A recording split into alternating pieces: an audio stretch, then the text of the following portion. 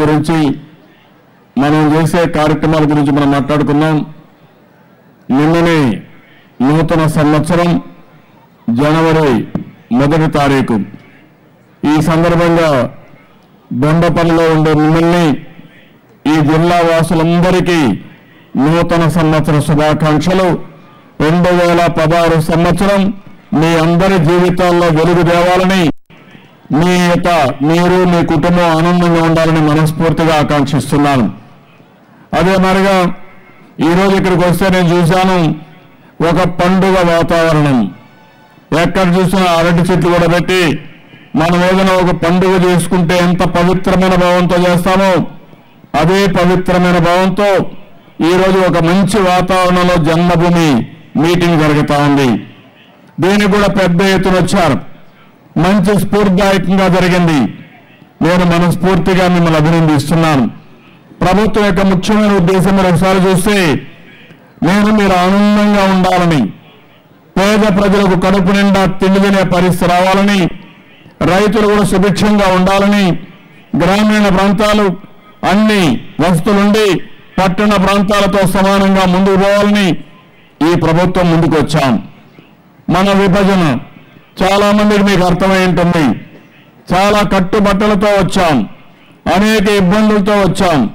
ఆదాయం లేదు. నేను అధైర్యపడలేదు. ఆత్మవిశ్వాసమే వనరులుగా తయారు చేసుకుని ఈరోజు మనం ముందుకు పోయాం. చరిత్రలో ఎప్పుడూ జరగని విధంగా ఒక్కొక్క వ్యక్తికి రెండు వందల రూపాయల పింఛన్ని వెయ్యి రూపాయలు చేశాం. వికలాంగులకి పదహైదు రూపాయలు పింఛన్ ఇస్తున్నాం. నలభై మూడు లక్షల డెబ్బై వేల మందికి ఈరోజు పింఛన్లు ఎన్టీఆర్ భరోసా కింద ఇస్తున్నామంటే దేశంలోనే ఇది ఒక చరిత్ర. ఇది పేదవాళ్ళ ప్రభుత్వం చెప్పడానికి దీనికంటే మంచి ఉదాహరణ ఇంకోటి లేదని కూడా నేను మీకు తెలియజేస్తున్నాను. అదే మరిగా ఈ కార్యక్రమానికి టెక్నాలజీ కూడా ఉపయోగించాం.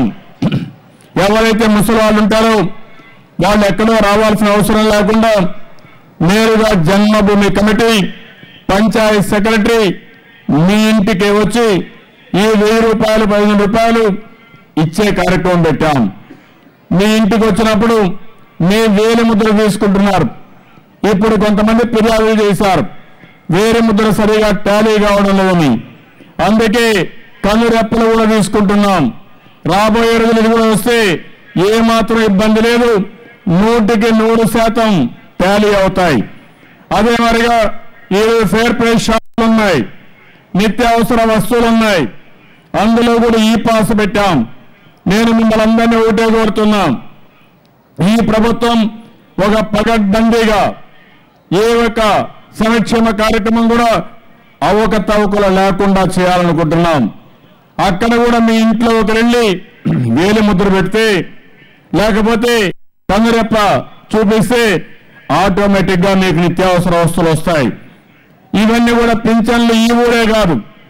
మీరు ఈ ఊరు నుంచి బంధువులకు పోతే రాష్ట్రంలో వేరే ప్రాంతానికి పోతే అక్కడ కూడా తీసుకునే వసతి ఏర్పాటు చేశాం. నేను ఒకటి ఆలోచిస్తున్నాను.